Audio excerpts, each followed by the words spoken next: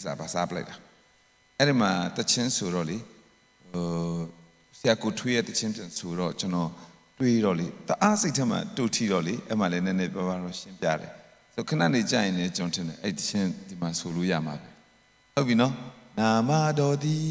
ကျွတင်ပြင်ထားရအောင်နော်စာသားတွေပဲမရှိရင်ရေးထားအဲ့ဒီခဏနေအဲ့ဒါဟိုပြောပြချင်တာဟို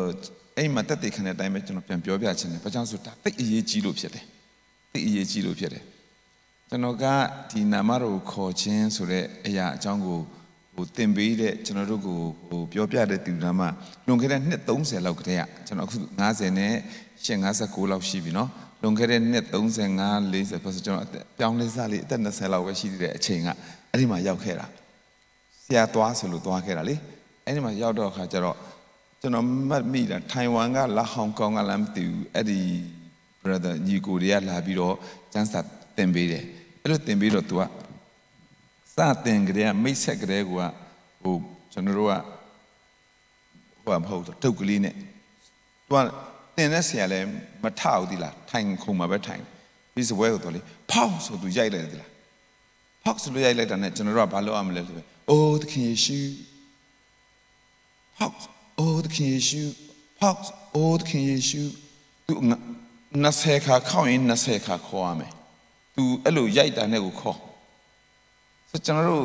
သွားတဲ့လူငယ်လည်းဖြစ်တဲ့အချိန်အတာဘာမှလည်းတော့ဆန်းကတ်တော့တကယ်ဆန်းကတ်တာနော်အဲ့ဒီလိုမျိုးပြောတော့ကျွန်တော်ဘာလဲကွာလကားနေအိုးသခင်ယေရှု Oh Lord Jesus အိုးသခင်ယေရှုသခင်ယေရှုဆိုမရဘူးလားအိုးဆိုတာရှေ့မထည့်မရဘူးလားအမဟုတ်သူကအတူတူပဲအကုန်လုံးအိုးသခင်ယေရှုအဲ့နဲ့လေ၃ရက်လောက်တင်တန်းလက်တက်ပြီးတော့နောက်မသွားတော့ နားလည်းမလဲဘူးတင်တော့ကလည်းသင်္ကန်းစာပဲသွားယူတယ်ထမင်းစားတယ်ပြီးရင်ပြန်ဆိုဟိုမေးတယ်အဲ့လိုပဲထိုင်နာထောင်နေတော့ကျွန်တော်သဘောမပေါက်ခဲ့ဘူးပြန်ပြောပြမယ်နော်အဲ့ဒီစာရွက်တွေကိုဒီအဲ့ဒီသင်နှစ်30 35နှစ်လောက်တုန်းကသင်ခဲ့တဲ့အဲ့ဒီသူတို့ပေးတဲ့ lecture စာရွက်ကိုလေကျွန်တော်ပြန်တွေ့တာကျေးဇူးတော်ပဲဒီနေ့ရက်3ရက်လာသင်တာအဲ့ဒါလေးပဲကျွန်တော်တော့အခုမှသဘောပေါက်ပြီးစားပြီးတော့အလော 35နှစ်လောက်ကတည်းကငါ့ကိုဖျားပေးထားပြီးသားအရာယူအဲ့တုန်းကသဘောမတူသဘောလည်းမပေါက်ဘူးဒီလာခဏီးမှာအဲ့ဒီ lecture စာရွက်တွေကျွန်တော်တွေ့တာလေဟာကျွန်တော်ဖတ်တာလေအတော်ပဲအသက်နဲ့ဝိညာဉ်တော်ဆလအောင်ဘာကောင်းစင်ပေးနေလဲအဲ့စာရွက်ကြီးတွေ့တဲ့အချိန်နဲ့လေအေးအသက်နဲ့ဝိညာဉ်တော်ဆိုဒီလိုပဲပြောလိုက်တာကျွန်တော်လေးစဉ်းစားပြီးအမျိုးမဟုတ်သေးလားတကယ်ဖျက်ဆင်ကောင်းကြီးပေးတယ် ဒီနေ့ရက်သုံးရက်တွင်လဲဒါလေးလာသင်လိုက်တော့လေကျွန်တော်အသက်တာမှာယေရှုရဲ့အသက်ရှင်ပေးတာမဟုတ်ရင်ဘာမှမရတော့ဘူးဆိုတာသိရမယ်တစ်ချက်အာမင်နောက်ပြီးတော့ကျွန်တော်တို့ဖြစ်ပြနေတဲ့အရာအလုံးထဲမှာအရေးကြီးဆုံးကဘာကိစ္စလဲဆိုရင်ထာဝရကိစ္စပြောကြအောင်ထာဝရ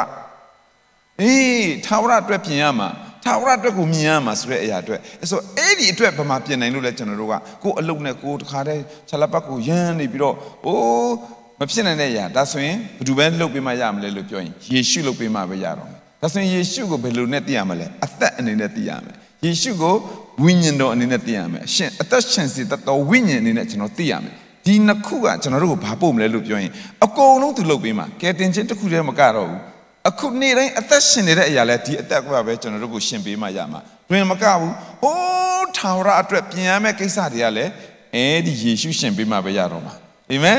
အေးအဲ့ဒါကိုသင်သွားတော့အဲ့တော့ခုနကနောက်ထပ်တစ်ခါအိမ်မှာအဲ့တချင်းဆိုတော့ဟာဒါလေးပြောပြဖို့တော့ကောင်းလိမ့်မယ်ဆိုပြီးတော့နားမလဲခဲ့ဦးတလားအခုနားလဲပြီးတဲ့ခါကျတော့အဲ့ဆာရွက်လက်တွေ့နားလဲလွန်ခဲ့တဲ့9နှစ်6နှစ်လောက်ကဒါကိုပြန်ကင်ပြီးသွားတဲ့ခါကျတော့လေဆရာလည်းသွားလို့ပြောတဲ့ခါကျတော့ကျွန်တော်သွားတာတူတူပဲထုံးစံတိုင်းပဲစရောက်တာနဲ့လေအိုးသခင်ယေရှုအိုးသခင်ယေရှုဒါစော်ကားတာမဟုတ်နော်ကျွန်တော်အခုပြောပြနေတဲ့အရာကျွန်တော်ဖြစ်ခဲ့တဲ့အရာကိုပြောပြနေတာ ဒါပေမဲ့ဒါအသက်ဖြစ်တယ်ဆိုတော့ကျွန်တော်လုံးဝသိသွားတာအသင့်ကဲပြောပြအောင်သင်ပေးဘာအတိတ်ပဲနဲ့အဲ့လိုអော်နေရလဲကျွန်တော်ကမေးတော့တာမေးတော့လေသူတို့ကလေမဟုတ်ဘူးတဲ့နာမတော်ခေါ်ခြင်းဆိုတာတဲ့ကျမ်းစာထဲမှာဆရာယူတတန်ဘာသာပြန်တာအားနေခဲ့တယ်တဲ့မားတယ်လို့မပြောဘူးအားနေခဲ့တယ်တဲ့ဘယ်လိုအားနေတာလဲလို့ပြောကျမ်းစာထဲမှာတဲ့ကြည် call the name of the call ဆိုတဲ့စကားလုံးအကုန်လုံးကိုတဲ့ဆရာယူတတန်ကဘယ်လိုပြန်လဲဆိုရင်ပထနာပြုပထနာပြုလို့သုံးနေတယ်ခေါ်ပါလို့သူမပြန်ဘူးသူကပထနာပြုလို့ပြန်လိုက်တဲ့အခါကျတော့တဲ့ကျွန်တော်တို့ကလည်းပထနာပြုကြပါစို့ဆိုရင်ဖះเจ้าမှာနားလည်ခဲ့တဲ့ဥစ္စာခေါင်းကလေးငုံပြီးတယောက်ကဆူတောင်းတာကိုပထနာပြုလို့ပဲနားလည်တာလေဆိုအဲ့တိုင်းပဲကျွန်တော်တို့က ဆိုတော့ကျမ်းစာထဲမှာ call call ဆိုတဲ့စကားလုံးတိုင်းအကုန်လုံးကို तू ကဘာဘာပေးထားဆိုရင်နာမတော်ကိုခေါ်တာ အဲ့တော့အလကားနေအိုးသခင်ယေရှုအိုးသခင်ယေရှုဆိုတာဥမာအိုးဆိုင်ကြော်တင်းကြော်တင်းကြော်တင်းလို့အဲ့လိုခေါ်နေရိုင်းရမကြဘူးလားလို့ဒီလိုမျိုးငါတက်တာနဲ့စဉ်းစားရင်လေဘလို့မှမခံစားတတ်ဘူးလေကျွန်တော်မသိဘူးအဲ့တော့ကျွန်တော်ကအဲ့တခုတော့ကျွန်တော်မခေါ်ဘူးနေပါစေသူတို့တို့ခေါ်ဟိုဒါလည်းတော့ဆဲရလည်းမဟုတ်ဘူးဆိုတော့အများနဲ့တော့ထိုင်နေတော့ခေါ်တာပေါ့ဒါပေမဲ့ကျွန်တော်ထက်မှအသက်မဖြစ်နေပြန်ပြောမယ်နော်အသက်မဖြစ်နေကဲအခုပြန်ပြောမယ်အခုကျွန်တော်စမ်းစာသင်ခဲ့တယ်အစအဆုံး ဟုတ်ပြီနော်သုံးမတဆူဖျားသခင်သုံးမတစ်ဖျားသခင်ကြီးကအခုဘယ်နှရောက်လာပြီဆိုရင်ကျွန်တော်ထဲကိုရောက်နေတာသင်ခဲ့ပြီနော်ဒါဟောကျန်စက်သိန်းချဖို့ကောင်းလိုက်တာဟိုဖန်ဆင်းရှင်ကြီးကကျွန်တော်တို့ကကျွန်တော်တို့ကဖန်ဆင်းခံလေအဲ့ဒီဖန်ဆင်းရှင်ဖျားသခင်အကုန်တတ်နိုင်တာဘယ်လောက်ထိတတ်နိုင်လဲသူ့ရဲ့အကြံစီကသင်နဲ့ကျွန်တော်ကိုပြန်ယူတယ်လို့ပြောရင်သူ့ရဲ့ယူပုံယူနီး how ဆိုတာကသူဘယ်လိုလုပ်လဲဆိုရင် သူကိုယ်၌ကလူစားတိခံလူလိုထဲမှာဝင်ပြီးတော့လူထဲမှာဝင်နိုင်အောင်သူကအဆင့်ဆင့်လုပ်ပြီးတော့သူပြောင်းလဲပြီးတော့အခုဘယ်အဆင့်ရောက်သွားလဲဆိုရင်သင်နဲ့ကျွန်တော်ယုံကြည်လက်ခံတဲ့သူရဲ့အသက်တာထဲကိုအဲ့ဖျားသခင်ကိန်းဝတ်သွားတယ်ဒါဆိုရင်ကြည့်အရင်တော့ကဘာကြီးကိုဖန်ဆင်းခဲ့တဲ့ဖျားဒီကနေ့ကျွန်တော်ထဲမှာရှိနေတယ်ဟာလေလုယာသင်နဲ့ကျွန်တော်ထဲမှာရှိနေတာပြီးတော့ तू ကဘာလဲအရာခတ်သိမ့်ပြောရအောင်အရာခတ်သိမ့်တမဟောင်းတော့ငါအမိရှိတဲ့ငါ ငါဆိုတဲ့ဖခင်လို့ပြောတာငါဖြစ်ချင်တဲ့အတိုင်းငါဖြစ်လို့ရတယ်ဆိုတဲ့ဖခင်ငါ့ကိုဖြစ်စေချင်တဲ့အတိုင်းငါဖြစ်ပေးလို့ရတယ်ဆိုတဲ့ဖခင်ဆိုတဲ့အဓိပ္ပာယ်ဖြစ်တာသင်ချန်တော့နော်ကြည့်အခုလည်းသခင်ယေရှုအပြင်သူပြောလေယေရှုက everything အတင်းနဲ့ကျွန်တော်ပြောတဲ့ယေရှုကဟိုနွားစခွက်ထဲကနေပြီးတော့ဟိုလောက်လောက်ဝဲပြောနေတာမဟုတ်ဘူးရှင်ပြန်ထမြောက်ပြီးတဲ့အခါကောင်းကင်ရောမြေကြီးရောအုပ်စိုးပိုင်တဲ့အခွင့်အာဏာယုံမကောက်အေဖက်တလင်းမှပြောရင်ခတ်သိန်းတော်တကိုးအာနာဆက်ရှိတဲ့မြတ်သူ့ခြေတော်အောက်မှာအကုန်ချထားပြီးတော့အသင်းတော်မှာတော့ဥကောင်းအနေနဲ့လို့ပြောရင်ဟာလေလုယာကျင်းတော့ကိုခန္ဓာဆိုတာသင်တဲ့ကျွန်တော်ကျွန်တော်တို့ရဲ့ဥကောင်းအခုကျွန်တော်တို့စုစည်းခြင်းမှာဥကောင်းဘူးလို့ဆိုရင်ယေရှုခရစ်တော် အာမင်အေးအဲ့ဒီလိုဖြစ်နေတဲ့ဖခင်ဘယ်လိုဖခင်လဲအရာခတ်သိမ့်ပြောရအောင်အရာခတ်သိမ့်ကဲဒါဆိုရင်တင်းနဲ့ကျွန်တော်လူကလိုအပ်တာအများကြီးရှိလားမရှိဘူးလားရှိလားမရှိဘူးလားကောင်းကင်ကိစ္စရှိတယ်မြေကြီးကိစ္စရှိတာပေါ့ဘယ်ဖခင်မပါဘဲနဲ့တခုမှမပြောရဘူးဘာကြောင့်ဆိုရင်လမ်းထွက်သွားတော့ကားတိုက်သွားနိုင်တယ်ကိုမန်အောင်သူများမားပြီးကိုလာတိုက်သွားနိုင်တယ်အလုံးလုံးနေရင်လည်းအန္တရာယ်ရှိနိုင်တယ် အခုစားရင်တောက်ရင်လည်းအဆင်မပြေရင်ဒုက္ခရောက်သွားနိုင်တယ်မဟုတ်ဘူးလားဒီမှာလာနေနေတာဟိုမြန်မာပြည်ကကိုမိသားစုတွေကိုတတိယရင်စုပဲတောင်းနိုင်တယ်စိတ်ပဲပူတယ်ဒါဆိုရင်ကျွန်တော်တို့လိုအပ်နေတဲ့အရာဖြစ်နေတဲ့အရာအားလုံးကဘုရုနာမှာအဖြေရှိလဲဆိုရင်ယေရှုခရစ်နာမှာအဖြေရှိတယ်။ तू ကဘုရုလဲ။ तू ကခုနသုံးပါးတစ်ပါးဖျားခင်ကြီးကဘာဖြစ်နေလဲဆိုရင်အရာခတ်သိမ်းပေါင်းစည်းနေတဲ့ဖျားအဖြစ်ခရစ်ကျွန်တော်ထက်မှလာရှိနေ ဒါဆိုရင်ကျွန်တော်ဘာလို့လို့ तू ကကျွန်တော်တို့အရာခတ်သိမ်းဖြစ်လို့ရတယ်။အာမင်။ထပ်ပြောမယ်နော်။ဒါကြောင့်အဲ့မှာကျွန်တော်သဘောပေါက်သွားတယ်။နာမတော်ကိုခေါ်ရဆိုတာသူ့ကိုခေါ်လိုက်တာလေသူ့ကိုတိုင်တယ်လိုက်တာလေသူ့ကိုလိုအပ်လို့လေဒါဆိုရင်ဘာလိုအပ်တယ်လဲဥမာကျွန်တော်ကျမ်းမာခြင်းလို့တဲ့ဆိုရင်ဘုရားသခင်ကျမ်းမာခြင်းကိုပေးတော်မူတော့ဘုရားကားတိုင်းမှာတိုင်ရန်တန်ချက်အရင်တော့အဲ့လောက်ထိဆွတောင်းပြီးပြောတော့မှနေကောင်းချင်မှနေကောင်းသေးတာနော်ဘယ်လိုယုံမှန်းတော့မသိဘူးဒါပေမဲ့ အခုသိသွားပြီဘယ်လိုသိရလဲအဲ့ဒီသခင်ယေရှုဆိုတာငါအတွက်ကျမ်းမာခြင်းငါအတွက်ကွယ်ကခြင်းငါအတွက်ဝမ်းမြောက်ခြင်းကျွန်တော်ငြိမ်သက်ခြင်းလို့လားငြိမ်သက်ခြင်းကိုမရှိဘူးပြရအောင်ခန့်ကျွန်တော်တွေ့ကျွန်တော်ငြိမ်သက်ခြင်းကျွန်တော်ဒီကနေ့ဝမ်းမမြောက်နိုင်ဘူးဝမ်းနေနေတဲ့ဘာချန်ဘလို့ချန်စီယမန်းကိုမသိဘူးစဉ်းစားလို့ကိုမပေါက်ဘူးဒါဆိုရင်စဉ်းစားလို့ပေါက်တဲ့ဉာဏ်ပညာဖြစ်အောင်သူပဲဒါဆိုရင် तू ကအရာခတ်သိမ်းဖြစ်လို့ရနေတာလေ ဟာလေလုယာဝါကြအရှိတည်ဆံမလို့ဘူးနာမကိုခေါ်လိုက်ဒါတမ်းဖြစ်တာအာမင်ကျွန်တော်ကြည့်လိုက်တယ်ကျမ်းမာခြင်းလို့တယ်အိုးသခင်ယေရှုကျမ်းမာခြင်းပဲအာမင်ကျွန်တော်ကြည့်လိုက်တယ်ဒီလူကြီးကတော့လေပြဿနာငါ့ကိုဒေါသအထွက်နေတာမမမဟိုအမဖြစ်ရင်လက်တောင်ပါလာနိုင်တယ်လို့ပြောရင်အိုးသခင်ယေရှုပြီးသွားပြီဘုရားခင်ကွယ်ကားလိမ့်မယ်သူ့လက်ကိုဆွဲထားလိမ့်မယ်မဟုတ်ရင်သူ့ပါဇက်ကိုပိတ်ထားလိမ့်မယ်မဟုတ်ရင် तू ကကျွန်တော်ကိုဘာလုပ်မလဲကျွန်တော်ကသခင်ယေရှု အာမင်ဟာတူတူလေးတော့တစ်ချက်ပဲ Oh Lord Jesus ဆိုခေါ်လိုက်တဲ့တခွန်းဟာဘလောက်ထိတောင်းချက်ပြည့်စုံသွားစီတယ်လဲဆိုတော့အဲ့လောက်ထိနာမတော်သည်ကျွန်ုပ်ဤအကွယ်ကားနာမတော်သည်ကျွန်ုပ်ဤအလင်းရောင်နာမတော်သည်ဟာအရာခပ်သိမ်းဖြစ်နေတာအဲ့မှာကျွန်တော်သဘောပေါက်သွားတဲ့ခါကျတော့လေနာမတော်ကိုခေါ်ခြင်းကိုကျွန်တော်လေအခုချိန်မှလေ စားသုံးတော့တာပဲစားသုံးတယ်လို့ပဲသုံးရအောင်ကျွန်တော်အသုံးပြုတော့တာအာမင်ကျွန်တော်တားသတိရတယ်သခင်ယေရှုပြီးတယ်ပြီးတယ်အကုန်ပြီးတယ်အကုန်ပြီးတယ်ကျွန်တော်မမြင်ဘူးကျွန်တော်သိနေတာတခုသူလိုနေတာတခုဖြစ်ဖြစ်မယ်ဒါပေမဲ့ဘ누구သိလဲကောင်းကံဖာသိတယ်အဲ့ဒီသူ့အတ္တမှာလိန်မာဖို့လိုတဲ့ဥစ္စာသူ့အတ္တမှာမဆာချင်းလိုအပ်တဲ့အရာကျွန်တော်ထပ်ပိုသိတဲ့အဖာသိတဲ့ကြောင့်သူ့နာမတော်ကိုပဲကျွန်တော်ခေါ်တယ်။အိုးသခင်ယေရှု အဲ့ဒါဘုရားခေါ်လဲကျွန်တော်သားအတွက်ကျွန်တော်ခေါ်တာပါ။ဟာလေလုယာ။ဒီပဲပေါ့လား။တင်လို့မရတဲ့ကိစ္စ။ဒါလေအဲ့တော့ဘယ်လိုပဲလုပ်ရမလဲ။ခေါ်ကြည့်။ဆယ်နီးတင်ပေးတာမှမဟုတ်တာ။အာမင်။အေးအဲ့ဒါပဲအဲ့ဒါပဲဒါဆိုရင်သင်ခဲ့တဲ့အရာအားလုံးဒီကနေ့ပြောရင်ဒါဆိုရင်သခင်ယေရှုရှင်ပေးရမှာပေါ့ဟုတ်ပြီအဲ့ဒီရှင်ပေးတာကိုလက်တွေ့အသုံးချခြင်းပြန်ပြောမယ်နော် လက်တွေ့အတ္တမှာတွေ့ကြုံခံစားခြင်း how နီလန်နီလန်အတူဆုံးအလွယ်ဆုံးတစ်ခုပဲပြောလိုက်မယ်နာမတော်ခေါ်လိုက်အာမင်ကဲကျွန်တော်တို့အကုန်ခေါ်ကြည့်ရအောင်ဒီနေ့တော့အိုးသခင်ယေရှုအာမင်ဟာဒိဗ္ဗတိသွားပြီးတော့ကျွန်တော်လေးအဲ့တော့သင်ပေးလို့တည်တာမဟုတ်နော်ကျွန်တော်အသက်တာမှာဖျားဖွင့်ပြရရင်နဲ့ lifestyle မှာသုံးရင်သုံးရင်နဲ့ကျွန်တော်တည်သွား လင်းမတက်တဲ့အိုးသခင်ယေရှုအာမင်ကားစီးတဲ့အိုးသခင်ယေရှုရန်ကုန်မှာဆိုတည်တယ်မလားတက္ကစီငါကိုတက္ကစီက okay တော့ဟိုရှိကကိုယုတ်ကားရဆိုရင်အိုးသခင်ယေရှုသူခြေတော့တွေသူ့လက်တွေကိုကိုတော့ထိန်းတော်မူပါဒီကောင်မောင်းတဲ့ပုံကငမူးဖြစ်နေတယ်ဝါကြထဆက်ဆင်ရမလို့ဘူးအိုးသခင်ယေရှုအာမင်အာမင် သင်ယောက်ျားအတွက်သင်မိန်းမအတွက်သင်စိတ်ပူသလားအိုးသခင်ယေရှုတာသမီးတွေဘယ်လိုဆုံးမမှမသိဘူးငါဝါကြကုန်နေပြီပြောလဲနားကိုမလဲဘူးအိုးသခင်ယေရှုဟာလေလုယာအလုတ်ထဲမှာလေဘာလို့ပြောရမှန်းကိုမသိဘူးတခါလေကြာရင်အခက်ခဲတွေပြဿနာတွေဘယ်လမ်းကနေထွက်လို့ဘယ်နာသွားမှမသိဘူးတခုပဲအရာခတ်တဲ့အဖြေဖြစ်တော်မူသော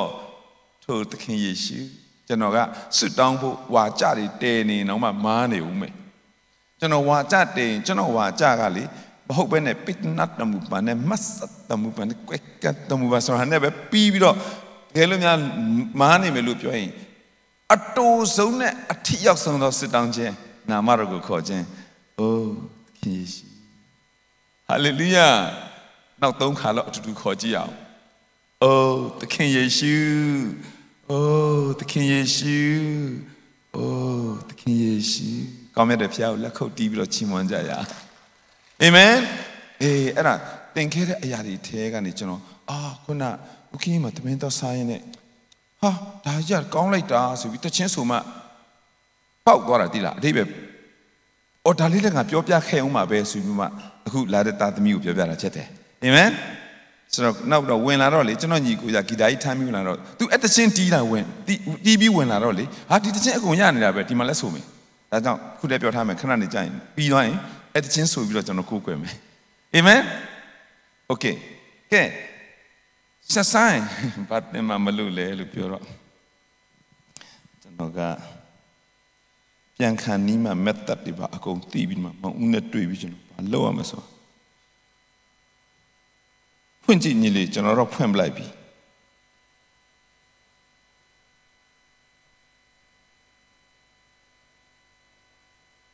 သူက iPad ကဥစားအပေါ်မှာပေါ်လို့ရတယ်တဲ့ဟာအဲ့ဒါဆိုရင်တော့ကောင်းတာပေါ့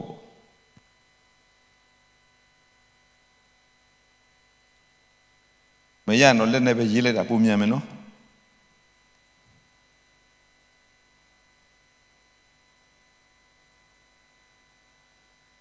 ကဲသူလုံနေတော့ကျွန်တော်ဒီပဲကြည့်အောင်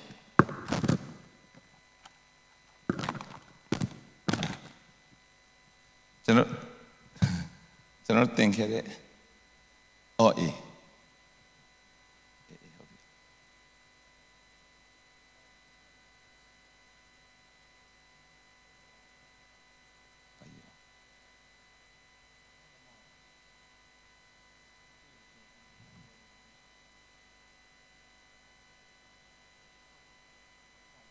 Okay.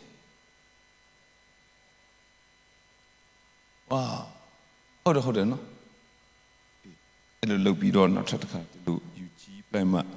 တွေ့ရမယ်တော့အော် so okay new beginning နဲ့ထွက်လာပြီအဲ့တော့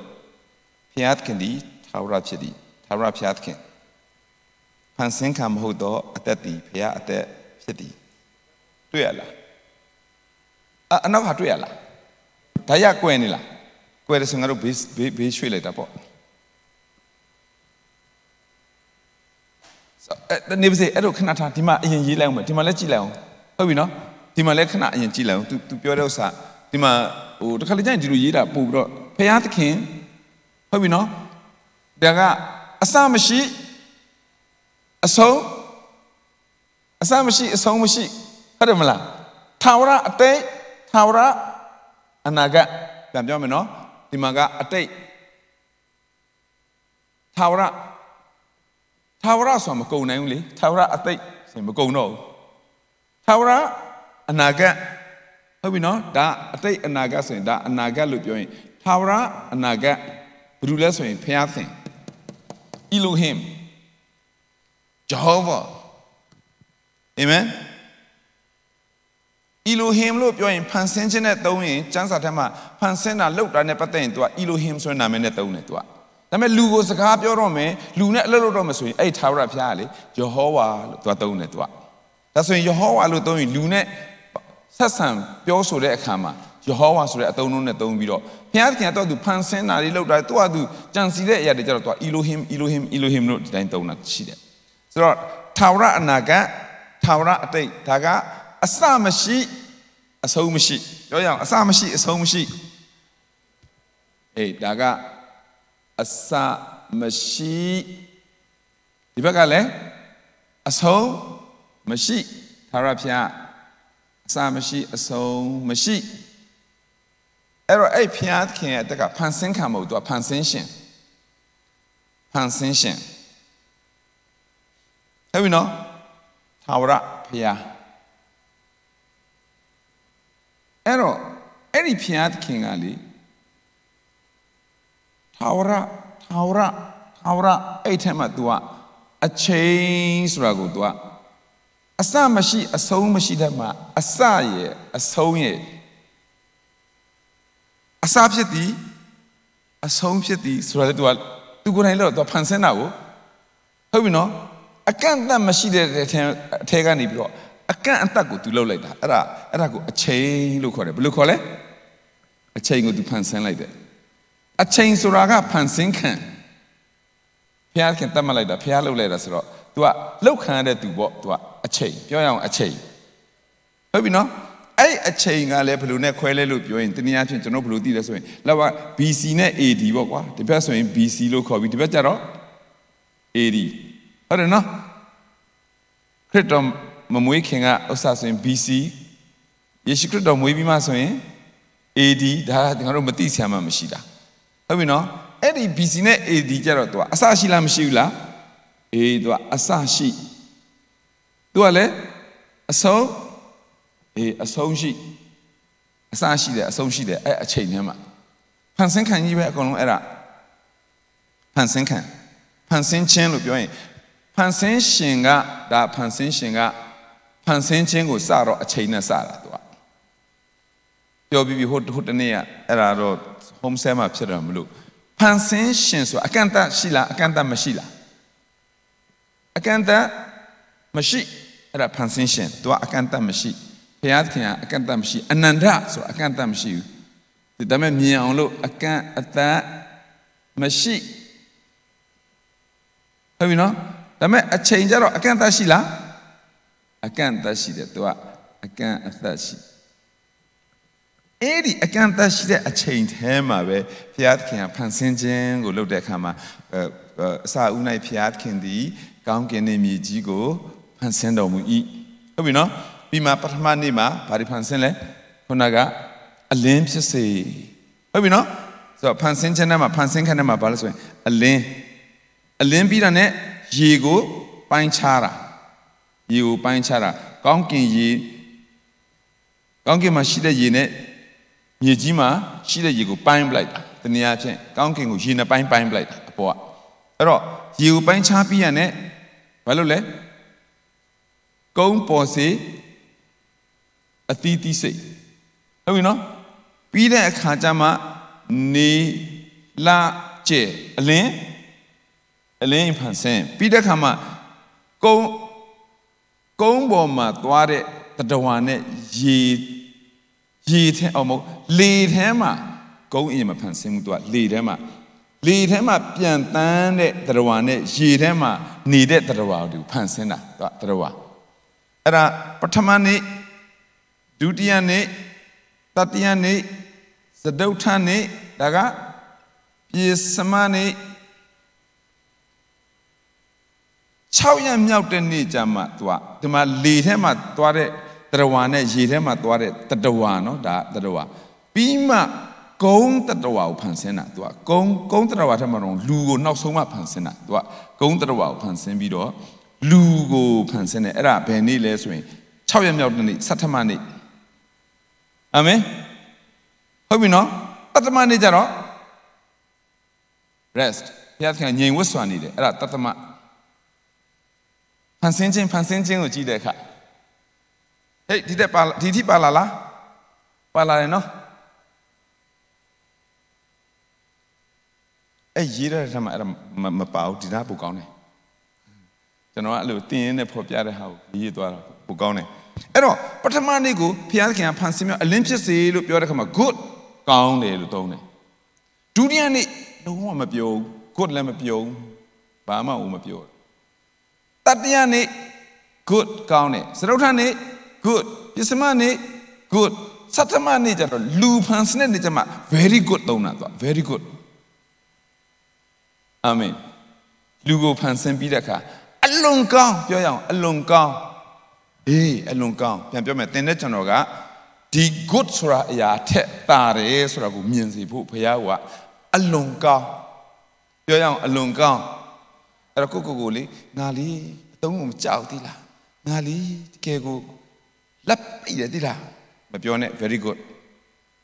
အာမင်ပြောရအောင် I am very good ပြီးဦးလည်းပြောလိုက် you are very good ဒါပဲဖះ very good ပြောတာကိုကိုကိုငါတုံးငါအမလုံးရမပြောရအောင်ဟုတ်ပြီနော်ဖះပြောတဲ့အတိုင်းကျွန်တော်ဝန်ခံတယ်လို့ပြောရင်လူက very good ဒါတော့ဘယ်ညီကိုမနမလူဖြစ်တာတွေ့ရဆိုရင်အဲ့ဒါဖះသတ်မှတ်ထားတဲ့ very good ကြီးဖះဖះစัจ java လာနဲ့တော့မလဲတဲ့ very good ကြီးဟုတ်ပြီနော်အဲ့ဒါကျွန်တော်သိထားမယ်အရာအဲ့တော့ ကြည့်လူကိုဖန်ဆင်းပြီးတော့ဖះသခင်လေအဲ့နောက်ဆုံးမှလူကိုဖန်ဆင်းတယ်လူကိုဖန်ဆင်းလဲပြီးရော rest ပဲဖះလူကဘာမှလုပ်စရာမရှိတော့ဘူးဘာကြောင့်ဆိုရင်လူလဲပြီးရောလူလဲဖြစ်ရောဘာနဲ့စတွေ့ရလဲဆိုရင်ငြိမ်ဝတ်ခြင်းနဲ့စတွေ့ရဖေကလူကလေငြိမ်သက်ခြင်းငြိမ်ဝတ်ခြင်းဆိုတဲ့ကိစ္စဒါဆိုရင်ဘာလုပ်ရမလဲဆိုရင်ဘာမှမလုပ်နဲ့အရင်ဆုံးငြိမ်ငြိမ်နေပြောရအောင်ငြိမ်ငြိမ်နေလူကဘာနဲ့စရမဆိုရင်ငြိမ်ငြိမ်နေတာနဲ့စရမှာ အိဗယ်ထပ်ပေါက်လာလိမ့်မယ်ငြိမ်ငြိမ်နေဆိုတာဘာလို့လူကငြိမ်ငြိမ်မနေတတ်လဲဆိုရင်ခါကိုဟိုအငြိမ်ကိုမနေချင်စဉ်းစားနေတော့မနှက်ဖန်ကဘာလို့မဒီဘက်ကငါဘာလို့မပြီးဘာလို့မဘာလို့အာတကယ်မငြိမ်ငြိမ်လေးငြိမ်ဝတ်စွာနေရမယ့်အချိန်ကိုအရင်ယူရတာအာမင်အဲ့ဒါအဲ့ဒါသဘောပေါက်လာဆိုတော့ကြည့်နော်အဲ့ဒီလူကဖျားခင်ဖန်ဆင်းတော့ကလူကဘာဆို like the image of God ဆိုဖျားနဲ့တဒံတူတာသူကဖျားရဲ့တဒံ image of God likeness of God တဒံတူယုံမကောက်ဖျားခင်တော့သူ့ကိုအနည်းနဲ့အရာရှိတယ်ဘာလဲဆိုတော့အုပ်ဆိုးပါနိုင်ပါကပောက်ကျန်1 26 29ဖတ်ပြရတဲ့အဲ့ဒါတွေ့ရတယ်ဆိုလူကဖျားနဲ့တရံတူရမယ်ပြီးရင်သူကအုပ်ဆိုးရမယ် rule domain ဒါ likeness ဆို likeness ကဘယ်လိုဖျားနဲ့ဒါတရံကြတော့ဖျားနဲ့ အုပ်ဆိုးပါနိုင်ပါဆိုတာကလောကကိုဖန်ဆင်းခံတွေကို तू ကအဲ့ဒါဖះရည်ရွယ်ချက်ကျွန်တော်တို့ကဘာနဲ့ဘယ်လိုဖြစ်ရမလဲလူဆိုတာဖះနဲ့တူရမယ်နံပါတ်1ဖန်ဆင်းခံတွေကိုအုပ်စိုးရမယ်ဖះသတ်မှတ်ထားပေးထားတဲ့အရာကိုအုပ်စိုးဖို့ဟုတ်ပြီနော်ဒါပေမဲ့ကျွန်တော်အတူကောက်ပြောရအောင်လူဟာဖះစကားကိုနားမထောင်တဲ့အခါတဒံပါပျောက်အာနာပါပျောက် ကျွန်းဖြစ်သွားတယ်လေလောကရဲ့ကျွန်းလောကရဲ့အဲလောကထဲမှာအပြစ်သားလောကသားဖြစ်သွားတယ်ဖခင်သားမဟုတ်တော့ဘူးကျွန်တော်တို့ဇန်လျှောသွားတာပေါ့အကုန်လုံးအဲ့ဒါကြောင့်ဖခင်ကပြန်လေရယူခြင်းဆိုတော့သူလုပ်ရတော့တာလေအာမင်သင်နဲ့ကျွန်တော်ကိုပြန်လေယူတဲ့အလုပ်လုပ်တာအဲ့တော့ဖခင်သခင်ပြန်လဲယူတဲ့အလုပ်လုပ်တဲ့ခါဘယ်လိုလုပ်တယ်လဲဆိုတော့အခုရှေ့ကနေကျွန်တော်တို့သင်လာခဲ့တဲ့နှစ်ရက်တာသင်လာခဲ့တဲ့ထဲမှာအဲ့ဒါပါသွားပြီ အဲ့တော့ဖခင်ရဲ့လုပ်ပုံလုပ်နည်းကဘာလဲလို့ပြောရင်အကန့်အသတ်မရှိတဲ့ဖခင်ကအဲ့ဒီအကန့်အသတ်ထဲမှာရှိနေတဲ့ကျွန်တော်တို့လူဒီလူကိုအကန့်အသတ်မရှိတဲ့ဖခင်ကအကန့်အသတ်ထဲမှာရှိတဲ့လူကိုကယ်ဖို့သူကိုနိုင်ကိုကသူဖန်ဆင်းထားတဲ့အကန့်အသတ်ရှိတဲ့အချိန်တည်းကိုသူကိုယ်တိုင်ဆင်းလာတာသူကိုယ်တိုင်ဆင်းလာဟာလေလုယာအာသိအောင်ဖို့ကောင်းတာ ဖန်ဆင်းရှင်ကတခြားဥစ္စာဖန်ဆင်းတာမပြောနဲ့သူ့ကိုသူတော်သူပြန်ဖန်ဆင်းလိုက်လို့ရတယ်ဘုရားသခင်ပဲဖြစ်စီတာလေဟာလေလုယာကြည့်နော်ဒါကြောင့်အံ့ဩဖွယ်ဘုရားမတတ်နိုင်တာမရှိဘူးကျွန်တော်ဒီတိုင်းပြောတယ်ယုံလားမယုံလားကြားလားအဲ့ဒါအဲ့တိုင်းဟောတာတွေကြားလားမကြားဘူးလားကြားတယ်ဘုရားသခင်မတတ်နိုင်တာမရှိအေးဘုရားသခင်မတတ်နိုင်တာမရှိဆိုတော့ကျွန်တော်ကိစ္စမပြောနဲ့သူကိစ္စတော့ तू तू မတတ်နိုင်တာမရှိဘူး तू အကုန်လုံးနိုင်တာ ဘယ်လိုလုပ်တာလဲသူ့ကိုယ်သူတော်ပြန်ဖန်ဆင်းပလိုက်လို့ရတယ်ဘယ်လိုဖန်ဆင်းလဲလူလိုမျိုးသူပြန်ဖန်ဆင်းပလိုက်လို့ရတယ်သူကဟာလေလုယာလူလိုပဲသူလာလို့ရတယ်ဟာကျွန်တော်အဲ့ဒါစဉ်းစားတဲ့အခါဘုရားသခင်ကလေအကန့်အသတ်မရှိတဲ့ဘုရားသခင်ကအကန့်အသတ်ထဲကိုသူကိုယ်တိုင်ဝင်လာပြီးအကန့်အသတ်ထဲမှာကန့်သတ်ခြင်းခံရတဲ့တင်နဲ့ကျွန်တော်ကို ရွေးနှုတ်ကဲတင်ပြီးကျွန်တော်လူကိုယူပြီးတော့အဲ့ဒီအကန့်အသတ်မရှိတဲ့အထက်ကိုပြန်ခေါ်ထုတ်သွားတာဟာလေလုယာကျွန်တော်အကန့်အသတ်ထဲမှာကြာရှုံးနေတဲ့ကျွန်တော်တို့အကန့်အသတ်ထဲမှာချီနှောင်ခံရတဲ့ကျွန်တော်တို့အကန့်အသတ်ထဲမှာပဲဒီအရာတွေအားလုံးရဲ့ဒီမှာကြည့်အပြစ်ကြောင့်အကုန်ဆင်းသွားတဲ့အရာတွေဘုရားဘုရားသခင်ကအကန့်အသတ်မရှိတဲ့ဘုရားသခင်က ကန့်သက်ခြင်းခံတဲ့လူကိုကယ်ဖို့အတွက်သူကိုယ်တိုင်ကန့်သက်ခြင်းထဲမှာဝင်လာပြီးသူဖန်ဆင်းတဲ့အရာထဲမှာသူဝင်လာပြီးတင်တဲ့ကျွန်တော်ကိုယူပြီးမှ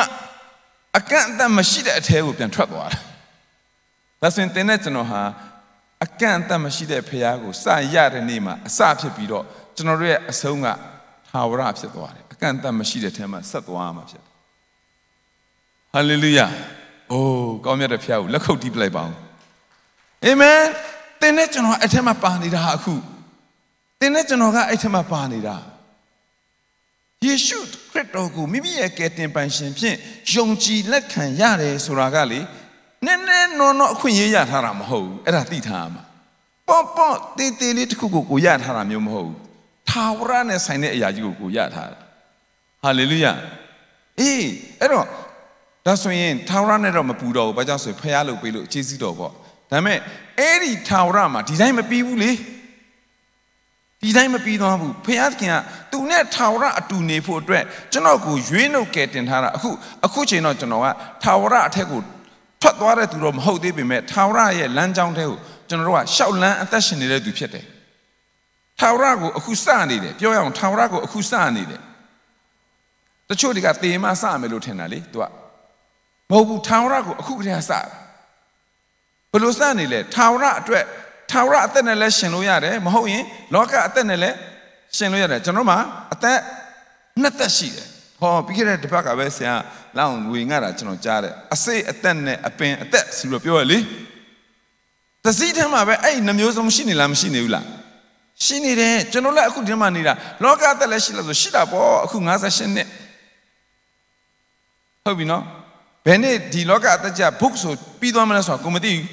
မပြီးချင်လို့လည်းမရဘူးတကယ်လို့ယေရှုလာမယ်လို့ပြောရင်လည်းမျက်စတမိတ်လက်တစ်ဖက်ထဲမှာဒီပုတ်နေတဲ့ခန္ဓာရဲ့အသက်ကတော့ပြီးသွားမယ်အာမင်မပုတ်နေတဲ့ခန္ဓာခုနပြောထာဝရဆိုတာကိုစသွားမယ်ဟောဒါဆိုရင်သင်နဲ့ကျွန်တော်ကအခုချိန်မှာလောကအသက်နဲ့ရှင်မလားဖခင်အသက်နဲ့ရှင်မလားဆိုတာကိုရွေးချယ်မှုကဲကိုကိုစဉ်းစားကြည့်သင်အခုချိန်ထိဘယ်အသက်နဲ့ရှင်နေရလဲ အာမင်ဆရာမမမမဝန်ခံလူအသက်နဲ့ရှင်နေတာမမမားတယ်လို့မပြောပါဘူးလူအသက်နဲ့ရှင်နေလည်းမမားပါဘူးဒါပေမဲ့လူအသက်ကအကန့်အသတ်ရှိလားအာနေတက်လားအမြဲတမ်းအာနေတက်တယ်မပြည့်စုံအောင်အမြဲအသက်ရှင်တတ်တယ်အဲ့လူအသက်ကဒါဆိုရင်ဘာအသက်နဲ့အခုရှင်ရမှာလဲဖခင်ရဲ့အသက်နဲ့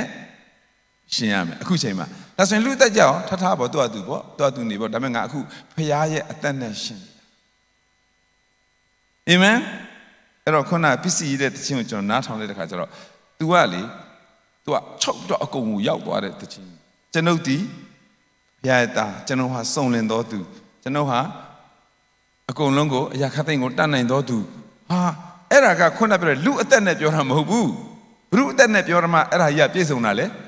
ဘုရားအသက်နဲ့ဒါဆိုရင်ကျွန်ုပ်ဒီ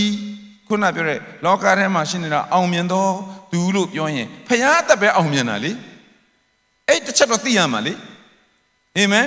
ဆိုလိုက်တိုင်းအောင်မြင်သွားတာမှမဟုတ်တာပါဇက်ကတော့ကျွန်ုပ်ဒီဤလောကနဲ့အောင်မြင်တော်သူလို့ပြောပြီးလူအသက်နဲ့ရှင်နေအောင်မြင်မှာမဟုတ်ဘူး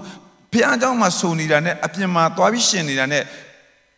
ဆန့်ကျင်ဘက်ကြီးဖြစ်တဲ့ခါကျတော့ကိုကိုကိုပဲပြန်စိတ်တကြတာငါပြောတာအောင်မြင်တော့သူလည်းပြောတယ်ငါအလုပ်ထဲမှာလည်းငါအမအောင်မြင်ဘူးဒီမှာလည်းငါစိတ်ညစ်နေတယ်ဆိုရင်အဲ့ဒါပြဿနာကဘာလဲဆို how ဆိုတာကိုမသိတာဘုကြီးပြောသလိုပဲဒီကနေ့က how သိဖို့တိတ်များများများလိုအပ်တယ် ဘယ်လိုပြောရအောင်ဘယ်လိုကြည့်နော်တရက်နှစ်ရက်ထင်တဲ့အဲ့ဘယ်လိုကြီးကိုဒီလောက်ထိပြောတာဒီမှာသဘောပေါက်မြန်တာကိုကျွန်တော်တအားကျေးဇူးတင်တယ်တိလားတရက်နှစ်ရက်ထင်တဲ့ဒီလောက်သဘောပေါက်မြန်တာဝိညာဉ်တော်မဆလို့နော်9ရက်6ရက်တင်တာတော့သဘောမပေါက်တဲ့နေရာတွေအများကြီးအားကွဲတော့မယ်တိလားမပေါက်ဘူးတိလားတချို့တွေလေပြောနေပြန်မေးဖြေလိုက်ရင်တခြားစီပဲတိလားဆလောင်းကျေးဇူးအများကြီးတင်တယ်ဒီမှာရှိတဲ့သားသမီးတွေဘာကြောင့်လဲ နှလုံးသားကငါတို့တော်လို့တတ်လို့မဟုတ်ဘူးဖခင်သခင်ပြောတဲ့အရာကိုနှိမ်ချသောနှလုံးသားဆာငတ်သောနှလုံးသားဘုရားသခင်လာတဲ့ခါမှာငါတော်တယ်ငါတတ်တယ်ဆိုတော့အကုန်လုံးကိုဖြတ်ချပြီးမှဖောင်ဖြတ်ပြီးမှနားထောင်ရင်အဲ့ဒီဟာလွယ်လွယ်လေးနဲ့ရတာအဲ့လိုမဖြစ်နိုင်ဘူးလားအဲ့ဒါကောင်မဖြစ်နိုင်ဘူးလားအဲ့အဲ့ဒီလူကဆိုအဲ့ငါချက်သားကြီးပါလာရင်ပြဿနာတက်ပြီပဲဟာလေလုယာ အဲ့ကြောင့်ယူသားဆိုဘုရားခင်နာမှာအဲ့လိုပြောရင် theology တွေမဟာသလားလို့ကျွန်တော်ပြောနေတာမဟုတ်ဘူးတိလားကျွန်တော်တို့ကိုယ်တိုင်လေ့လာနေရ theology ဆိုတာဘုရားခင်အကြောင်းဘုရားရဲ့အလေ့လာကိုပြောနေတဲ့အရာပဲအာမင်ဒါပေမဲ့တစ်ခါလေကြာရင်ကျွန်တော်တို့ကလေအဲ့ဒီအလေ့လာကိုငါးချက်သားနဲ့တွားတွားပေါင်းလိုက်ရင်ပြဿနာတက်တာသူကဝိညာဉ်တော်နဲ့ပေါင်းမှရတာဖခင်ရဲ့အလေ့လာကိုဖခင်ရဲ့ဝိညာဉ်ဖခင်ရဲ့ပညာနဲ့လေ့လာမှနားလည်နိုင်တာဖြစ်တယ်ကျွန်တော်ပြောရကျွန်တော်မင်းမင်းအောင် ကျွန်တော်ပြောရကျွန်တော်ကစမ်းစာကြောင်းတက်တယ်လေဟာစမ်းစာကြောင်းတက်တော့တော့ဟိုဘယ်လိုပြောမလဲဆိုတော့အောင်ဖို့တခုနော်မြန်မာပြည်မှာတော့နော်အင်္ဂလိပ်စာညံ့ထားတာလေငါးရန်ကျမှစတင်တဲ့အဲမှာကျွန်တော်ပါတာလေကျွန်တော်သူငယ်တန်းကတည်းကအင်္ဂလိပ်စာသိခဲ့တာမဟုတ်ငါးရန်ကျမှ A B C D ဆိုတာစသိတာအဲ့ဒါနေပါ10ရန်ကျပြီးသွားပြန်ရောလေစမ်းစာကြောင်းကျတော့ဘာမှကိုမသိဘူးလေအဲ့တော့စမ်းစာကြောင်းမှာတက်ခဲ့တဲ့လေးနှစ်တုန်းကလေစာမူပွဲမှာဝါကြမှန်အောင်ရေးဖို့ဟာဓမ္မ ကြက်ထားတဲ့အရာကိုဟိုအာကုံဆောင်ပြီးလိုက်ရွတ်ပြီးတော့အတိတ်ပဲဘာပေါက်ပေါက်မပေါက်ပေါက်အဲ့ဒါချရေးနိုင်ဖို့စူးစမ်းတာဓမ္မပွဲတာရသွားတယ်ဘာဘာနဲ့ရလို့ဘလို့နာပြီးသွားမှန်းတော့ကျွန်တော်မသိဘူးတိလားဘာကြောင့်လဲဆိုရင်စာမွေးကြလို့မရဘူးလေဒါတော့အောင်မတ်တောင်မနေလောက်ရတာ ပြီးရင်ဟိုထဲမှာ copy ကူးတဲ့ဥစ္စာပဲကျွန်တော်တို့က copy ကူးဘယ်စာမျက်နှာနဲ့ဘယ်စာမျက်နှာတော့ကူးကူးပြီးတော့အဲ့ဒါကိုကိုချရေးတယ်လို့လို့နဲ့ဣဒီမာကရှေ့ကနေနောက်ပို့နောက်ကနေအရှိပို့နည်းနည်းပါးပါ twist လုပ်ပြီးမှစာတန်းတင်ရတာပြီးအလုံးလေးကြီးလိုက်အလုံး200ဆို200ရှိနေရမယ်ပို့လို့မရလို့လို့မရနဲ့အဲ့ဒီလူမျိုးအလုံးရှုပ်ပြီးတော့လေကျန်းစာတက်လာတာနော်ဟိုအောင်လက်မကြီးရလာတာအဲ့ဒီလောက်လေးနဲ့ပဲပလင်မော်တက်ရင်တော့ကေကိုပြဿနာတက်မှာသီလား ဘာမှမတက်ခဲ့ဘူးလက်မကြီးယူခဲ့ပြီးတော့ဟဲ့ဟန်ကြီးနဲ့လေကျွန်တော်တငယ်ချင်းတယောက်ကျွန်တော်မေးတယ်မင်းငါ့ကိုမလိမ့်နှမ်းပြောလို့ကျန်းစာကြောင့်ပြီးတော့ပြီးနင်ကျန်းစာတအုပ်လုံးအဆအဆုံးဖတ်ပြီးပြီလားမလိမ့်နဲ့ငါ့ကိုပြောစပြောင်းလဲတော့ကသူ့ဖေကကျန်းစာကြောင့်တက်လို့ပြောတဲ့ဆယ်ရန်အောင်ကျန်းစာကြောင့်တက်ဆိုတော့အဖေရဲ့အလူကိုဝန်ခံဖို့ဆိုသူသွားဆွတောင်းတယ်တဲ့ဆွတောင်းတော့အာဘာဖြစ်တက်လိုက်ပါမယ်ကွာဆိုပြီးတော့သူတို့သူတို့သူတို့အတင်းတော်မှာတနည်းဖြင့်ရွာမှာ လူလို့အဲ့ဒါဒီကျမ်းစာကြောင့်တက်တယ်အဲ့အဲ့တုန်းကတော့ကျမ်းစာဖတ်ဘူးလားဆိုစာမွဲအောင်ပဲမနေကြိုးစားနေတာစာကျမ်းစာဖတ်ဖို့ဆိုတာဘာမှမရှိခဲ့ဘူးဒါပေမဲ့ तू စိတ်ချတယ်ကျမ်းစာကြောင်းရောက်ရင်ဖတ်ဖြစ်သွားမယ်လို့ तू ထင်တာကျမ်းစာကြောင်းရောက်တော့ lecture တဲ့လေဘာမှဆိုင်နေဘူးဟိုဟာဝင်ဒီဟာဝင်ဟိုဟာဖတ်ဒီဟာဖတ်တန်းစီနေအဲ့ကျမ်းစာကိုတိတိကျကျဖတ်တာမရှိဘူး तू မရှိခဲ့ဘူး တနစ်ပြီးတော့အိမ်ပြန်သွားရင်ကမ်လေးပါရင်ဟာအလုံးများပြီးဖတ်လို့ပြီးမလားဆိုမပြီးပြန်ဒုတိယနေ့ကပြန်တတ်တဲ့၄နှစ်တက်လို့ BDHPB ပြန်သွားတယ်နောက်ဆုံးတေးသေးချကျွန်တော်မေးကြည့်တယ်မင်းကဘာဦးချမ်းနေဗျာတဲ့ချမ်းအကုန်လုံးအဲ့လိုဖတ်တာပြီးလားလို့မေးတဲ့ခါမလိမ့်နှံ့ဖြေကြည့်အောင်ဆိုရင် तू ဖြေတယ်မပြီးဘူး အဲ့ဒီမပြီးတဲ့လူကပလင်ပေါ်မှာအခု तू က तू တရားဟောရတာနော်စံသာကြောင်းဆင်းလာတဲ့ခါပန်းကုန်းလေးဗာဒီနဲ့ကိုကြိုဆိုးပြီးတော့လေအတင်းတော့မှလက်ထောက်တင်းအောင်ဆရာအရင်ခန့်တာ तू ကလည်းချက်ချင်းတော့ဟို senior pastor တော့မရပါဘူးဟိုဘိုးတော်ကြီးကရှိသေးရဲ့လေအဲ့တော့မကြခင်ဘိုးတော်လက်တော့မဆိုရင် तू ကတက်ရမှာလေအဲ့တော့ဘိုးတော်က तू စံသာကြောင်းဆင်းလာတော့ဘိုးတော်ကဟိုဟိုအဖိုးဟိုအဖိုးတင်းအောင်ဆရာ မိမိုမမရတော့ဘူးခြေတော့ဖောရောင်လို့အိမ်မှာပဲပွဲတော်မှာပဲလဲနဲ့တော်တော်ခေါ်လာပြီးတော့ကောင်းကြီးပေးတာတော့သူကောင်းကောင်းမထနိုင်တဲ့အနေထားအဲ့တော့ तू ကဟို senior pastor တော့မဟုတ်ပေမဲ့ तू ကအကုန်တောင်းယူရတရားဟောရတယ်အဲ့နဲ့ကျွန်တော်မိတယ်ကျန်းစာတအုပ်လုံးဖတ်ပြီးပြီလားဆိုဒါတော့မှနော်အများရှိမှဖတ်ရင်သူ့တိတ်ခါကြတယ်ဆိုပြီးကျွန်တော်စိတ်ဆိုးမှအခန်းထဲမှာခင်လို့ဆိုပြီးတဲ့ပုံကျွန်တော်သူ့မေးတာယူယူတာတာငါမလိမ့်နဲ့အမှန်ပြောဖတ်ပြီးလားမပြီးဘူး ဘလောက်အန္တရာယ်ကြီးလဲမင်းဆိုတဲ့ကောင်ကကျွန်တော်သူ့လိုပြသူကြီးတာသူကြီးတယ်ကျွန်တော်ပြောချင်တာစမ်းစာကြောင်းတက်တာကိုနေနေတာမဟုတ်ဘူးမှန်တယ်ဒါပေမဲ့စမ်းစာကြောင်းတကယ်တက်တဲ့သူကဘာနဲ့အလုပ်ရှုပ်လဲဆိုရင်ကျွန်တော်ကိုယ်တိုင်တက်တာလေစမ်းစာကြောင်းကိုအခုချိန်ထိတက်လို့ပြောနေတော့ဘာကြောင့်လဲဆိုရင်ကျွန်တော်ကစမ်းစာကျွန်တော်ကြိုက်တဲ့ဘာသာရရှိရင်ကျွန်တော်လိုက်တယ်ကျွန်တော်အမှန်တမ်းပြောရင်ကြီးစံကျွန်တော်ပြီးတယ် School of X ကျွန်တော်အတူတူတက်တယ် ဟုတ်ပြီနော် BDH ပြီးတယ်ဟိုအမေရိကမှာ Ilya Institute တက်တယ်ကြားတဲ့က3လတို့6လတို့ course တွေရှင်ယူတက်တယ်ဗီဒီယိုအခွေနဲ့ပဲအိမ်မှာယူပြီးမှဖာပုံကြီးနဲ့ကြည့်ရတာเนาะအဲ့ဘုံကြီးနဲ့အဲ့ဒီဗီဒီယိုခွေကိုကြည့်ပြီးမှစာအုပ်ကိုဟိုပြန်ဗီဒီယိုခွေကြည့်စာအုပ်ကိုဖတ်ဗီဒီယိုမှာခွေမှာတင်တဲ့အရာထက်ကနေစာအုပ်ထဲမှာမေးထားတဲ့မေးခွန်းကိုပြန်ဖြေ နားမလည်အဲ့ဒါယူပြန်နှစ်ခေါက်ကြည့်သုံးခေါက်ကြည့်တင်နေတာကသူတို့ဟိုအမေရိကမှာတင်နေတဲ့ဟာကြီးကျွန်တော်တို့ကဘာလက်တက်ရလဲဆိုရင်အဲ့ဒီအခွေနဲ့တက်ရတာပြီးခါမှတလနေမှပြန်တက်အနီးကဟိုစာပေးစာယူလိုမျိုးပဲပြန်ဖြေအခုချိန်ထိကျွန်တော်လည်းလုပ်ပါတယ်ဆိုလို့ချင်တာစမ်းစာကြောင်းတက်တာကောင်းလားဆိုကောင်းတာပေါ့ဝါသနာလည်းပါတာဟုတ်သိချင်တာဟုတ်ဒါမဲ့နော်ငါစက်တန်းနဲ့ပေါင်းရင်အကုန်ပြက်ဟိုနာမတော်တောင်သိမှာမဟုတ်ဘူးဟာလေလုယာ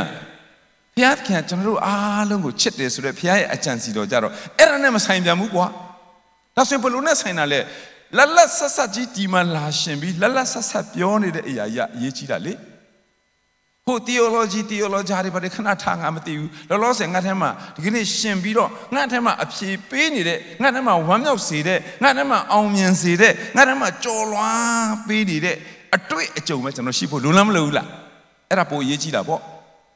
အဲ့တော့မတက်ရလဲစိတ်မညစ်နဲ့အဓိကအရေးကြီးတာပါလဲရှင်နေဖို့ပဲဒီထဲမှာအာမင်ပြောရအောင်ရှင်ခွင့်ပေးဖို့ပဲရှင်နဲ့တသက်ရှိဖို့ပဲအာမင်ဒါကြောင့်တခုပဲဖျနားမလဲဘူးကိုတော့တို့တော့ကိုတော့ရှင်တော်မူပါလွယ်လွယ်လေး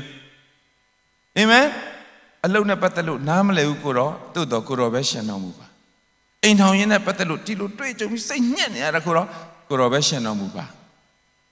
တချို့တွေဆိုရင်တို့ကလေစခဲ့ကြတဲ့ကူကမားတာကိုတော့ဒါပေမဲ့အခုကဖြတ်လို့လည်းရတာမဟုတ်တော့ဘူးဒါသမီးလည်းရှိပြီဒီအနေထားနေပြီးတော့ဘလို့မျိုးကိုတော့အလိုတော်ကိုကျွန်တော်ကျမပြန်ရှင်လို့ရမလဲကိုတော့ကျွန်တော်ကျမကိုဆွဲခေါ်တော်မူပါအောင်မြင်တဲ့အိမ်တော်ပြန်ဖြစ်သွားရဲ့နော်ယောက်ျားရောမိန်းမရောဖျားသခင်ခေါ်လိုက်တဲ့အခါဖျားသခင်ပြောင်းလဲစေလိုက်တဲ့အခါအရင်အလွန်ပင်စိတ်ညစ်စရာကောင်းတဲ့အိမ်ထောင်ကအခုအလွန်ပင်တာယာတဲ့အိမ်ထောင်ဖြစ်လာတယ်ဟာလေလုယာ ဘာကြောင့်လဲအဲ့မှာသိသွားတာဘုရားသခင်ကအနုတ်ကိုအပေါင်းလုပ်နိုင်တယ်အပေါင်းကိုကျွန်တော်လူတွေကအနုတ်လုတ်သွားရင်တော့မှအဲ့အနုတ်ကိုအပေါင်းပြန်လုတ်နေတာဘာလို့လဲလို့ပြောရင်ကျွန်တော်တို့ထက်ကဘုရားဒါကြောင့်အရာခတ်သိမ်းဖြစ်လို့ရတယ်ဆိုတဲ့ဘုရားဟာလေလုယာအာမင်အေးအဲ့ဒါအဲ့ဒါသိရမယ်ဒီနားမှာအဲ့တော့အကန့်အသတ်ရှိတဲ့ဘုရားကအကန့်အသတ်မရှိတဲ့အထက်ကိုထွက်လာဝင်လာပြီးမှတင်တဲ့ကျွန်တော်ကိုဟိုဟိုကဲတင်တယ်ပေါ့နော်ကဲ အဲ့ထဲမှာကျွန်တော်အခုပြချင်တဲ့နေရာကဟိုးအောက်ဆုံးမှာရှိတယ်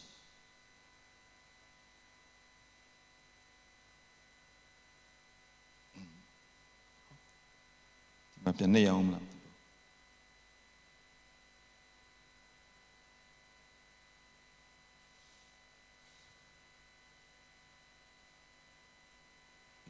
အေး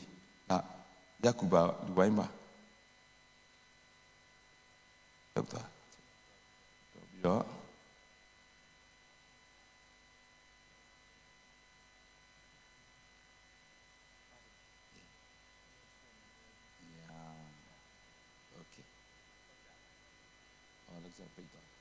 โอเคโอเคရပြီမနေ့တနေ့ကပြောလိုက်တယ်ကဲဒီဒီဒီဥစ္စာလေးတိတ်မတွေးလို့ဆိုတော့ကျွန်တော်နည်းနည်းဘေးကို တွန်းလိုက်တော့မယ်နော်အားလုံးတွေ့အောင်လို့ထာဝရအနာဂတ် eternity eternity future ဒါဆိုရင်ကျွန်တော်တို့ရဲ့အနာဂတ်ကအရေးကြီးဆုံးဘုရားသခင်ထားတဲ့အရာရှိအဲ့ဒါဘာလဲဆိုရင်ယေရုရှလင်မြို့တည်းပြောကြအောင်ယေရုရှလင်မြို့တည်းအသက်သုံးသက်ရှိတယ်သူကလေ new heaven new earth new jerusalem amen ကောင်းကင်ကဘုရားအတွက်မြေကြီးဟာလူအတွက်ဒါကြောင့်လူကိုဖန်ဆင်းပြီးရင်လည်းဘုရားမြေကြီးပေါ်မှာပဲထားတာလေဒါဆိုရင်ကျွန်တော်တို့ကိုလည်းအခုကဘုရားသခင်ရွေးနှုတ်ကယ်တင်ပြီးတော့ကျွန်တော်တို့ရဲ့အနာဂတ်အတွက်လည်းဘယ်မှာပဲပြင်လဲလို့ပြောရင်မြေကြီးပဲပြင်တာဟုတ်ပြီနော်ဒါကြောင့်မြေကြီးအစ်စ်ဆိုတော့အဲ့ဒါ new earth ဘုရားသခင်ပြင်တယ်ဆိုတော့အဲ့ဒီယေရုရှလင်မြို့တစ်ဆိုတဲ့နားကိုဟိုခုနပြောတဲ့ အစင်းအစင်းဘုရားသခင်ခေါ်လာပြီးတုံးလာတာသူက regeneration being renewing being sanctification being transformation being confirmation being glorification ပြီးမှဘုရားခင်ရည်ရွယ်ချက်ခုနပြောတဲ့စာကိုနောက်ဆုံးအရောက်ဘုရားခင်ပို့မှာဒါဆိုရင်သင်ခဲ့တဲ့အရာကိုပြန်ပြောမယ်သင်ခဲ့တဲ့နှစ်ရက်ကသင်ခဲ့တဲ့တက်တက်တူတွေကဒါဒါသိပြီအဲ့တော့ကျွန်တော်တို့ကိုဘာလို့လဲဆိုဘုရားခင်ကအရင်ဆုံး regeneration အရင်လုပ်တာ hallelujah ဟုတ်ပြီနော်ကျွန်တော်တို့ကိုအဲ့နားနေပြီးတော့အသက်ခါရ renewing စစ်ဆက်ထုံဖွဲ့လို့ပြောလိုက်တဲ့ကျွန်တော်တုံးလိုက်တဲ့အရာလေးပြုပြင်တီဆောက်ဆိုတော့လေစစ်ဆက်ထုံဖွဲ့ခါမှပဲကိုယုံတဲ့ဥစ္စာမားနေတာကိုမြင်တဲ့အရာမားနေတာကိုကြိုးစားနေတဲ့အရာတွေအရင်တော့ကိုလုံနေတယ်ဆိုတဲ့အရာတွေအကုန်လုံးကိုဟာဘယ်ဟာကဖះ ဘယ်ဟာကလူဘယ်ဟာကဖះတောင်းဆိုတာဖះဘယ်ဟာကဖះတောင်းဆိုတာမဟုတ်ဘူးဟုတ်ပြီနော်ဘာလို့ဘလို့ယုံရမလဲဟာဆိုတာစအကုန်လုံးပြန်တင်တဲ့ခါအဲ့မှာဘာပြန်လုပ်ရမလဲဆိုရင်လို့ပြန်ပြောက်သွားတာอืมညဟုတ်ပြီနော်ပြီးမှဘာလို့လဲဆိုရင်တန့်ရှင်းစေတာတဖြည်းဖြည်းတကန့်တကန့်ပြီးတကန့်ဘယ်ထဲမှာသွားထည့်လဲဆိုရင်အသင်းတော်ထဲမှာကျွန်တော်တို့ဘယ်ထဲထည့်ထားလိုက်လဲ အသင်းတော်ဆိုတာကိုခန္ဓာဟုတ်တယ်မလားကိုခန္ဓာအဲ့တော့အသင်းတော်မှာကျွန်တော်တို့ကိုထည့်ထားလိုက်တဲ့ခါကျတော့ဥကောင်းကဘာတူလဲလို့ပြောတော့ဥကောင်းကခရစ်တော်ဖြစ်တော့တနည်းအားဖြင့်အပတ်တိုင်းကျွန်တော်တို့ဘာကြားရမလဲဆိုရင်ကွာဒီကနေ့ဟောတဲ့ကျမ်းစာဒီကနေ့ဆိုလိုက်တဲ့တခြင်းဒီကနေ့ဖတ်လိုက်တဲ့ကျမ်းစာငါ့ကိုတဲ့ကြီးပြောနေတာငါ့ကိုစောင်းပြောတာမဟုတ်တက်တဲ့ကိုပြောတာပတီကွာခွန်အားရလိုက်တာအဲ့ဒါငါဖြစ်နေတဲ့အရာကိုပြောတာဆိုတာဘာဖြစ်လို့ဆိုတော့ကျွန်တော်ကိုတန့်စင်စေနေတာ နှုတ်ကပတ်တော်ရေနဲ့ဆေးကြောပေးတယ်လို့ခေါ်တယ်ဟာလေလုယာကျမ်းစာသဖတ်တော့လဲကွတီကိုဝင်နေတာအိမ်မှာဖတ်တော့လဲကွတီကြီးဝင်တာလေတေးချပြီးနင်တင်တဲ့ကျွန်တော်ဟာဘုရားခင်ကတန့်စင်ပေးခြင်းကျွန်တော်ကိုဆေးကြောပေးခြင်းဖြူစင်ပေးဖြူစင်စေခြင်းကိုလုပ်နေတယ်ဆိုတာကိုထပ်တွေ့ရတယ်ဘယ်လဲမှာဆိုရင် sanctification တန့်ရှင်းစေတာတန့်စင်စေ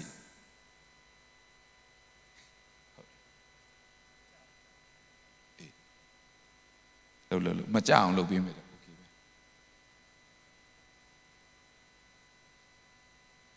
အော်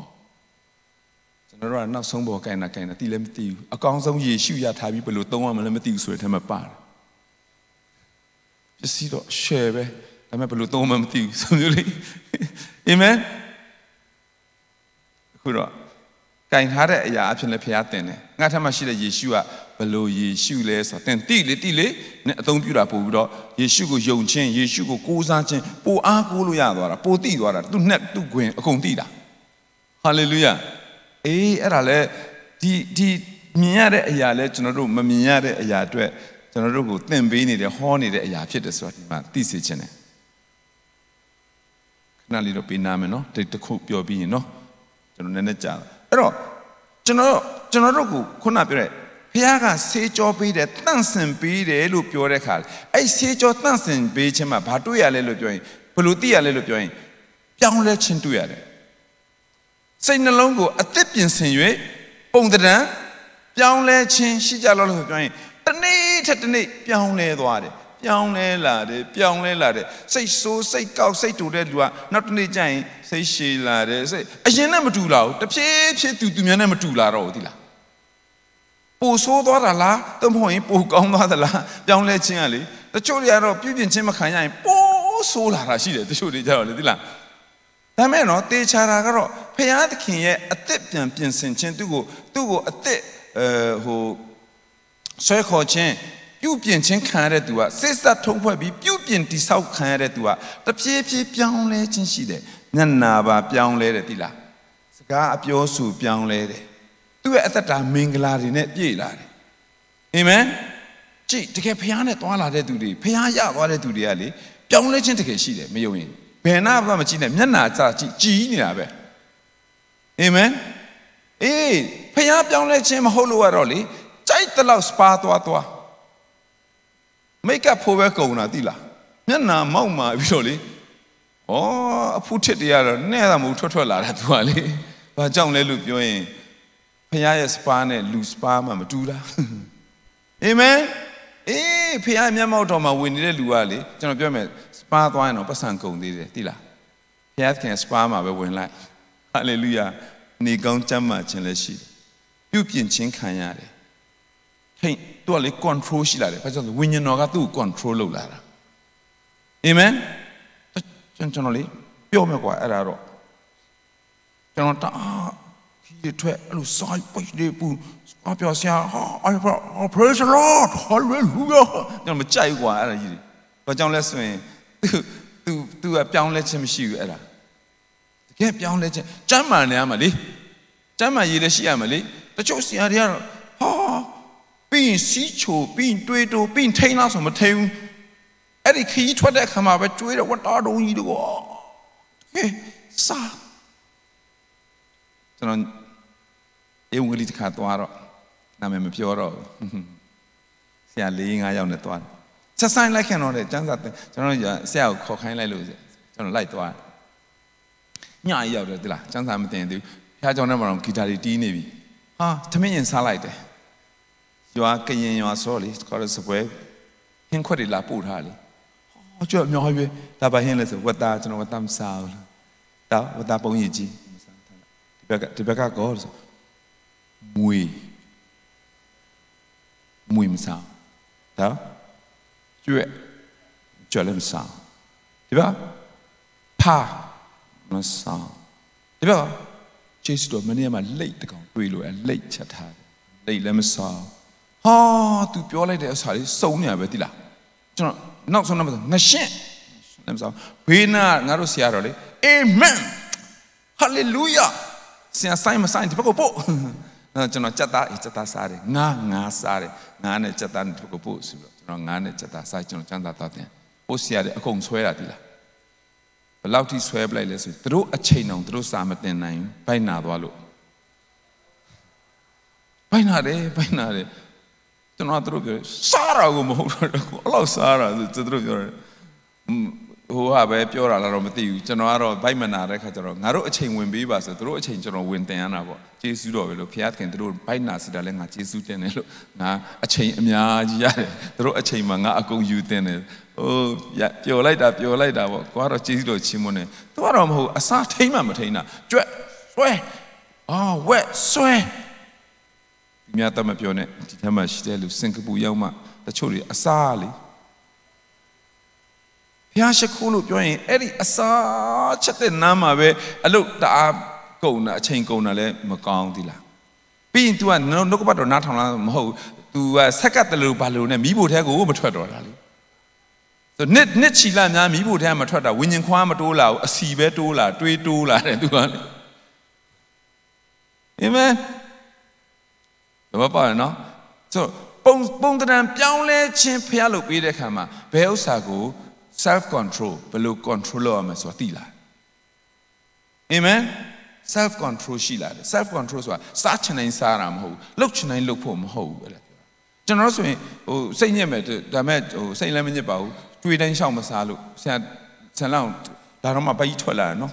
ကျွန်တော်သူ့ဘယ်ချိန်စားမလဲပြောမနဲ့ထားလာလေဆရာမဟောသူဟောလေစားဖို့ကြီးပဲနင်းငံလေးလားဒါစားစားအဲဒါနဲ့နော်ဒါလောက်လေးတော့စားနော် ပြီးရင်7နိုင်ကျရင်စဉ်းစားရအောင်ပါတဲ့ဟောဒါဆိုရင်7နိုင်စားခိုင်းရင်ငါဒါမစားဘူးဒါစားရင်7နိုင်မစားတော့ဘူး तू အဲ့လိုပြန်ပြောမှအဲ့ဒါအေးအေးဒါဆိုရင်ဒါဆိုရင် just coffee just coffee coffee လို့ပြောပြီး coffee တကယ်လာလားဆိုရင်ဘေးနာပလက်တာလေးတေးသေးလေးလေးတတ်တက်လေးပဲတေးသေးလေးပဲအဲ့ဆမလေးဘာမှလူမတတ်တယ်လို့တတ်တယ်လို့နဲ့ငါနင်းကစားခိုင်းတယ်ဘာမှမဟုတ်တော့ तू လေအတီးဆရာဆိုင်အတီးကလေအတီးကကျွန်တော်လေကျေးဇူးတော်ပဲ ဒါ तू ကဟိုပြန်ပြောလို့ရတဲ့သူဘလို့တခြားနေရာဆို तू ကစိတ်ညစ်တာအဲ့စားခိုင်းတဲ့ကိစ္စမှလေဒါပေမဲ့တချို့တွေကြတော့အိမ်မှာမငှက်ခဲ့သမျှဧဝံဂေလိတော်မှာခါတဲ့ဆွဲတာအေးအဲ့ဒါစကမရှိဘူးကျမ်းစာပြောတယ်ကျမ်းစာထဲမှာဘုရားခင်ပြုပြင်ကြံပါရှိတယ်ဆိုရင်တန်ရှင်းစင်ကြယ်စီပြီးကျွန်တော်တို့ကဘာတွေ့ရလဲဆို transform ဆိုကျွန်တော်တို့ရဲ့ပုံသဏ္ဍာန်ပြောင်းလဲခြင်း အဲ့ပြောင်းလဲခြင်းကအနုတ်ကိုသွားတာမဟုတ်ဘူးအပေါင်းကိုသွားအာမင်ဥပမာဆရာနဲ့ပြောရနော်တကယ်မှကြံတဲ့သူတွေကဖျားရှိခိုးဆိုရင်ဘာကျွေးမှလဲဆိုတော့အရင်မေးရင်တေးချပြီးအဲ့ဒါဖျားရှိခိုးအိမ်မှာရှေ့လာခဲ့ကြနော်ဘာကျွေးမှလဲပြီးရင်လေရောက်တာနဲ့အရင်စားဒီဟာဒီဟာရဲ့ထုံးစံအော်စားပြီးခဏကြာအာရပါရနှုတ်ကပတ်တော်ဝင်ဝင်ငါတာနားထောင်မလားလို့မဟုတ်အလုတ်မှာပင်မအခုလက်စားလဲပြီးရခဏကြာတော့လေနားတော့နားထောင်တယ်တော့လေမျက်လုံးက ပတော်မှပြုပြင်ပြောင်းလဲခြင်းရှိမှာမဟုတ်ဘူးခဏလေးနားကြရအောင်နော်ခဏလေးနားပြီးမှဘယ်နှဘယ်နှမိနစ်ပြန်တက်မယ်7မိနစ်15မိနစ်အာမင်